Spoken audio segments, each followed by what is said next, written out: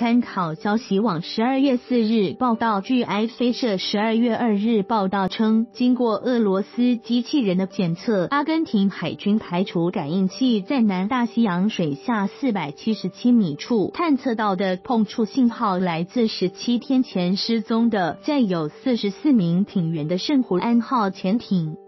已经确认这些碰触信号并非来自潜艇船体。海军发言人恩里克巴尔维在布宜诺斯艾利斯向记者表示，他在今天上午已经透露，一个俄罗斯机器人将会下潜到水下四百七十七米深处检查。正是在这里，感应器发现六十二米长的类似变形船体表面的碰触。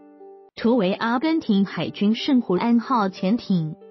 最近几天，在潜艇搜索区域发现了六个碰触信号，其中两个信号已经被排除。在今天排除了另一个应该来自另一艘沉船的信号之后，还剩三个信号有待俄罗斯机器人检验，以便确认是否属于圣胡安号潜艇。巴尔维表示，俄罗斯机器人是二日才刚开始使用的，它可以下潜至最深一千米深处进行探测和视觉观察，而几天前使用的美国机器人只能下潜到三百米深处。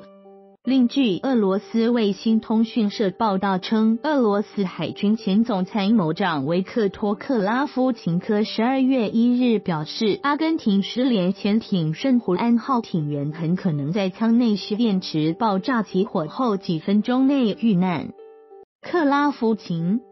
科解释称，该潜艇为单舱式潜艇，没有隔舱壁，因此如果发生爆炸或火灾，火势会瞬间蔓延船体内部。他说，在这种情况下，艇员几乎会瞬间死亡。